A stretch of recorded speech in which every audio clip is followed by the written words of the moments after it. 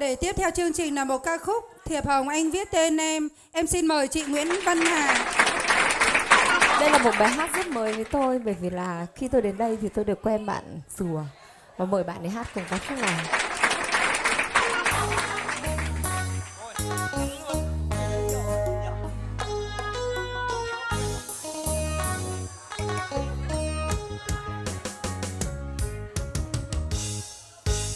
hôm ấy anh đi mình với mình vừa quen, tình nhương chưa thành tên.